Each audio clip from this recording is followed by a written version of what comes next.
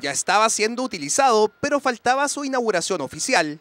El presidente de la República, Sebastián Piñera, llegó al Estadio Fiscal de Talca para encabezar la inauguración de las obras de ampliación de este remodelado recinto deportivo.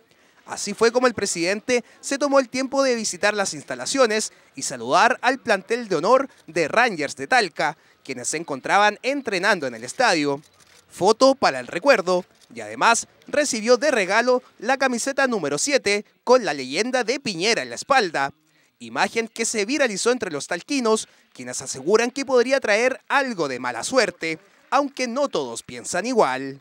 No sé, yo le pasé, le pasé la camiseta 7 de Pavé, así que no sé qué, sea lo que le quieran. No, no, le pasamos la 7 porque es la séptima región, porque viene a inaugurar este de la región del Maule, así que eh, lamentablemente para Pavé. Debe que venía preparado, si había algunos antecedentes del club, tenía alguna, bueno, a mí me, me dijo usted, yo lo conozco, eh, pero bien, muy gentil, muy amable, la gente que viene con él nos, guió y nos dijo lo que teníamos que hacer, así que nada, él se comportó súper amablemente con, sus gestos de, salvar a cada uno de los jugadores. Sabía que, los, bueno, se acordaba de Porcel de Peralta, se acordaba de jugadores históricos del club, que en los años este, 69 fuimos a la Libertadores, o sea, tenía algunos antecedentes que, que seguramente él es una persona que le gusta el fútbol también, así que nos conversó un poquito de fútbol ahí.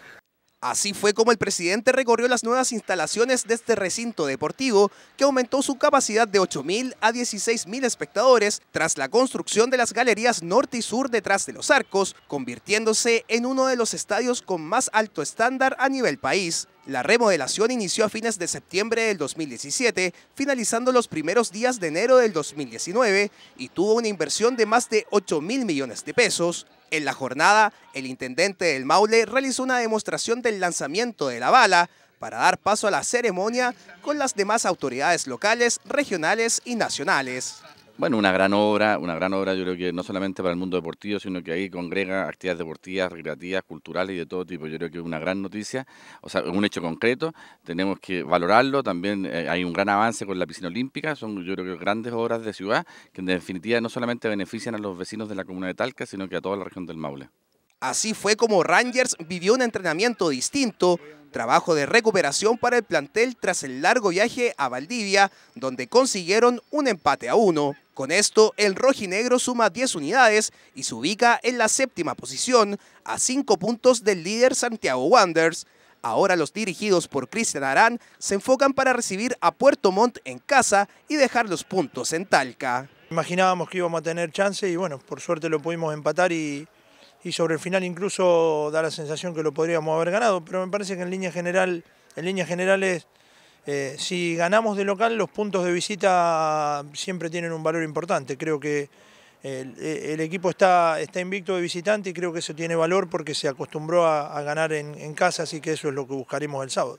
Me parece que en esa, en esa postura nos, hemos hecho bastante fuertes visitas. Eh, somos un, equipo que, es complicado jugarle para los locales. Eh, nos agrupamos bien, eh, salimos rápido en contragolpe. Nosotros de mitad hacia arriba tenemos gente muy con mucha experiencia y, ah, muy, y con muy buen pie. Con muy, con muy, buena técnica. Entonces son, tienen la capacidad de resolver situaciones de pronto que uno no, no, que piensas que no son reales situaciones de gol. Así que eh, en la medida que nosotros nos podamos defender bien y los muchachos le demos la libertad para poder eh, atacar. Por eso después en local nos cuesta más, porque se nos hacen lo que hacemos nosotros, se nos reagrupan y tienen mucho menos espacio los de mitad hacia arriba. Tras la visita del presidente a su remodelada casa, Rangers espera seguir bien encaminado en el torneo de Primera B. Este sábado 13 de febrero a las 18 horas recibirán a Puerto Montt en el remozado Estadio Fiscal de Talca.